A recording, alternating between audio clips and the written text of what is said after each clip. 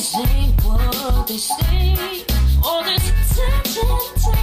just exactly what you should be. Now,